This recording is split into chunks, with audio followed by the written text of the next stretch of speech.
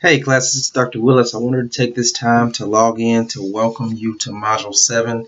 Uh, hopefully you had an outstanding day so far. Uh, I know this announcement is coming a little later in the day, uh, but my wife and I had a pretty adventurous day. We had to go uh, check out our new um, rental home uh, that we're, we just signed a lease on. Uh, we had to meet with our new landlord to get some things squared away. Uh, we also had to drive an hour and a half to come pick up our kids. So it was just a long day, uh, but I'm happy to sit down and finally get this uh, welcome announcement to you. Uh, hopefully uh, you had a, a, firm understanding in Module 6 uh, with your research questions and also your research methods or, or, the type of research that you conducted.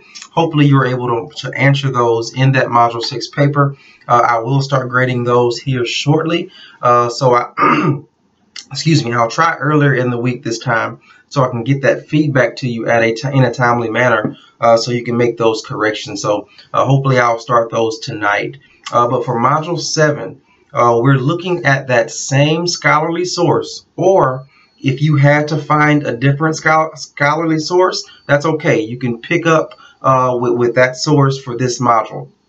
Uh, but for Module 7, uh, we're looking at the results and conclusions um, of your source. So now every article um, is not going to have um, your typical um, data specific results and conclusions. That's okay. If you chose a source that does not have traditional results and conclusions, that's okay. What you need to do is talk about the overall purpose of the article and if that purpose was accomplished throughout the article. Um, was it reliable? Was it valid? Uh, did the conclusions or did the overall purpose of the article uh, support uh, many of the things that was that were referenced by the author? So if it does not have that tra that traditional results where a study was actually conducted uh, and if the author didn't draw those traditional conclusions, that is okay uh, but you want to read the instructions and respond appropriately uh, based on your specific source.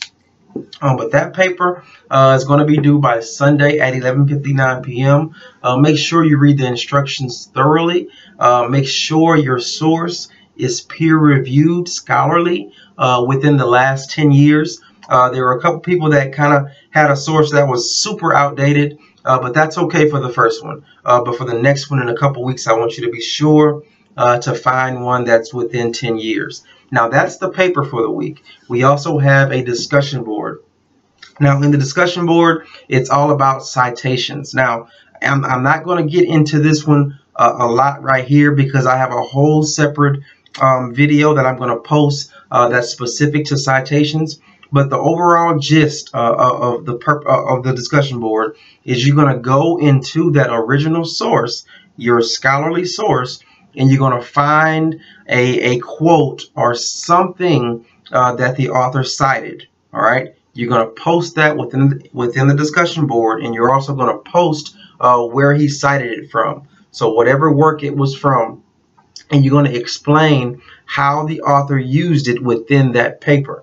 Now, I, that, that, I may not have explained it well right there, uh, but the video I'll post is is really going to give you a great idea um, of the purpose behind that assignment. Now, your initial post, of course, is going to be due Thursday by 11:59 p.m. Uh, and you have to respond to at least two peers. And remember to follow the response instructions by Sunday at 11:59 p.m. Um, and lastly, if you have any past due work, I know a lot of people already submitted your past due information uh, or your corrected information for Module 4.